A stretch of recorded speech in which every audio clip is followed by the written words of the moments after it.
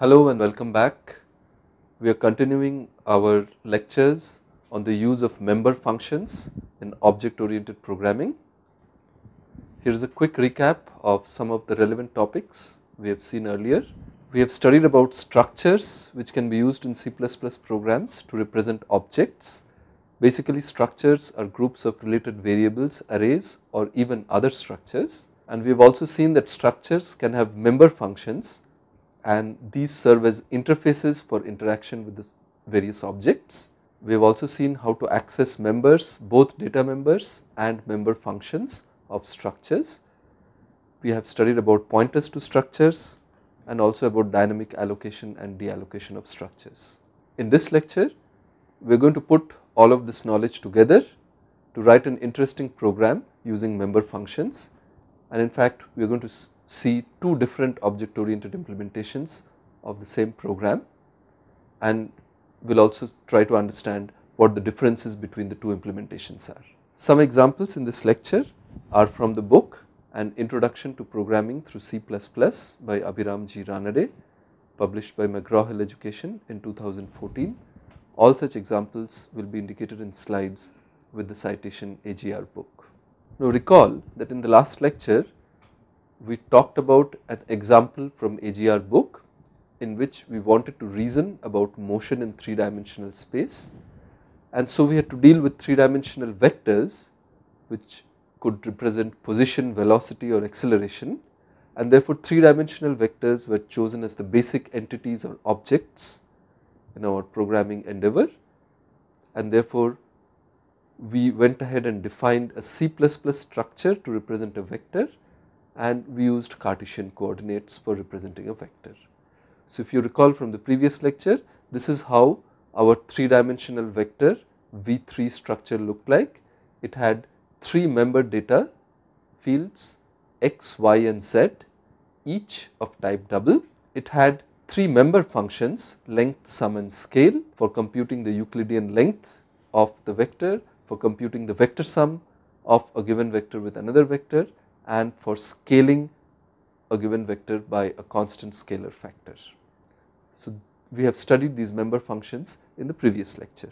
In this lecture we are going to use the same V3 structure that we have already studied earlier and try to solve a simple problem.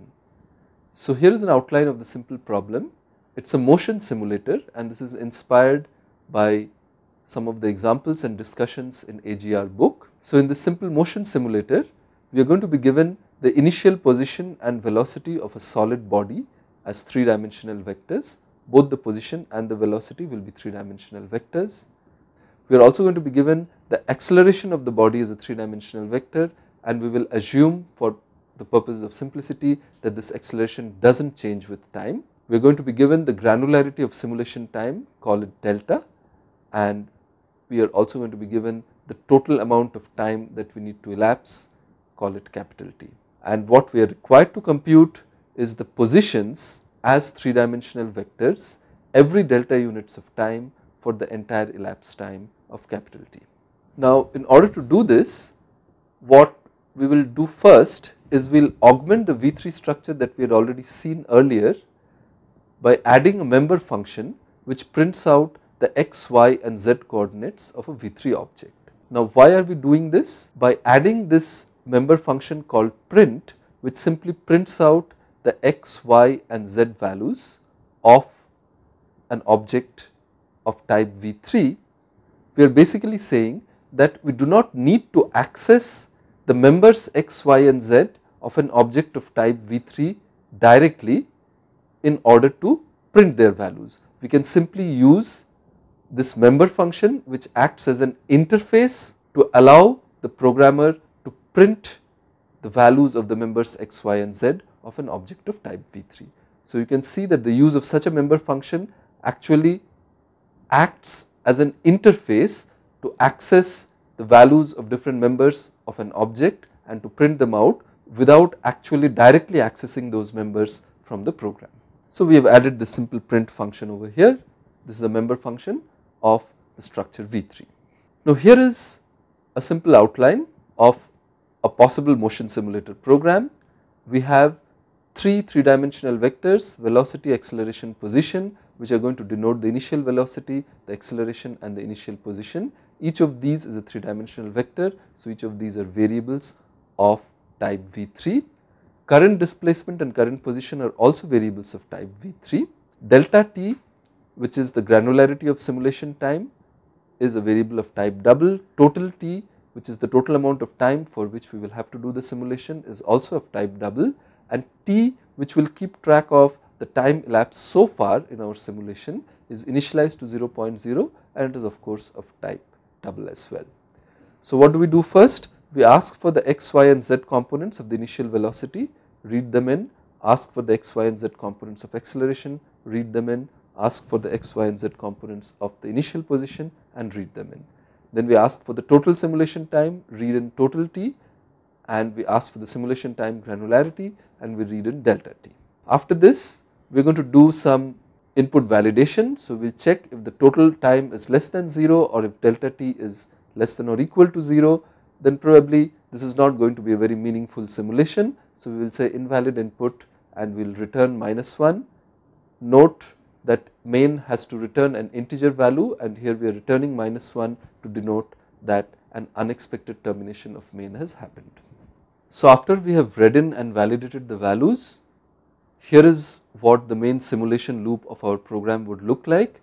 We are going to calculate the current displacement using this simple equation from physics which says that if the initial velocity is given by the vector vel and the acceleration is given by the vector ACC and the acceleration is constant then at the end of time t the displacement is given by vel times t where this is scaling of the vector vel by t and this is the vector sum and this is the scaling of the vector acceleration by 0.5 t squared. So, that is exactly what we are going to do here. We are going to scale the vector vel by t and then we are going to do a vector sum of that with the scaled version of the vector acceleration with 0.5 t squared that will be the current displacement. And the current position is of course the vector sum of current displacement and the initial position. So, we call the member function sum on the 3 dimensional vector current displacement and pass as its parameter the initial position vector. And that gives us current pos and finally we print out the current position using the member function print of current pos at time t and increment t by delta t and then keep iterating around this simulation loop. Now here is an alternative implementation that one could do for the same problem of designing a motion simulator so, in this alternative implementation we actually define a motion simulator object. So, we say struct motion simulator in that we define three variables, three members init pos, init velocity and acceleration all of type V3, current pos and current velocity are also of type V3, delta t which is the granularity of simulation is of type double. So, these are all members of the structure motion simulator and then we have this member function called initialize simulator what it does is it simply copies init pos and init vel to current pos and current vel and returns.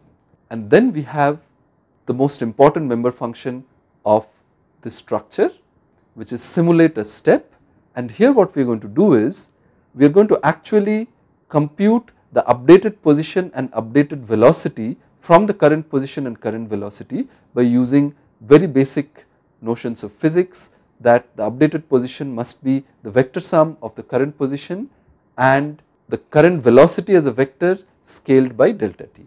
So, this would give me the current velocity scaled by delta t would give me the change in the position and you add that as a vector to current position you get the updated position and similarly the updated velocity is the vector sum of current velocity and the change in the velocity which is given by delta t times acceleration. So, of course, you will realize that both of these are really going to work well when delta t is small and we can assume current velocity is almost constant throughout that interval and of course acceleration we have already assumed to be constant. So, this expression is correctly going to compute the updated velocity for any values of delta t, but this expression is going to compute the correct value of updated position only for very small values of delta t such that we can assume current velocity to be constant within that small delta t. And then we simply update current pos and current velocity in the expected way we scale current velocity by delta t and add it as a vector sum to current pos and we scale acceleration by delta t and add it as a vector sum to current velocity. And of course finally we also have a print position member function in motion simulator where it simply invokes the print member function of current pos and returns. So here is how the motion simulator program using this alternative design might look like. So we define a variable, we declare a variable msim of type motion simulator and we have the total elapsed time so far delta t and total t like we had earlier this is the total time for which we have to do the simulation and then of course we read in the x, y and z components of initial velocity store them in the x, y and z members of the init vel member of msim. Similarly the x, y and z components of acceleration are stored in the x, y and z members of the acceleration member of msim and the x, y and z components of initial position are similarly stored in the x, y and z components of the init pos member of msim. And we of course take the total simulation time and the simulation time granularity and this delta t is also copied to msim dot delta t. So here is how the main program which implements the motion simulator might look like using this alternative design. We have uh, declared the variable msim of type motion simulator we have these different time quantities and then after reading in and validating the values for the initial velocity, acceleration, initial position, delta t and total t, we are going to call this member function initialize simulator of msim which is an object of type motion simulator and recall that what initialize simulator does is it simply copies the initial position and the initial velocity of this object motion simulator to the member's current position and current velocity of the same object motion simulator. And then this simulation loop is here while the total amount of time elapsed so far is less than or equal to the total time for which we have to simulate. We are simply going to call this member function simulate a step of the object msim. What does it do? It basically simulates one step of duration delta t and thereby updates the position and updates the velocity in the object of type msim. And finally, we are going to print out the position calculated within the object of type msim at time t, increment t by delta t and continue this iteration. So, what you see here is that in this design, this simulation loop looks far cleaner. I just said simulate a step and I said print position increment time. And we were able to do this by basically defining this new object motion simulator which was basically doing all the required computations within it when I call simulator step. So an interesting question here is are the results computed by the two simulations the same? I would encourage all of you to try it out and see and if the results are not the same it is interesting to ask why are the results not the same and particularly I would ask you to try out with various values of simulation time granularity and to see for what values of simulation time granularity do the results computed by the two simulations agree by and large. And this should give you an idea of why implementation choices are sometimes very important when solving a problem. In this particular case if the simulation time granularity is large, the second implementation we talked about will be inaccurate, the first implementation we talked about will be accurate for any values of delta t. So in summary we saw a simple motion simulator program using object oriented programming, we saw the use of member functions, we also had a glimpse of data hiding. In the second implementation there were several things like current velocity which the main program never gets to see. So we saw this glimpse of data hiding and the effect of simulation time granularity on the results of simulation. Thank you.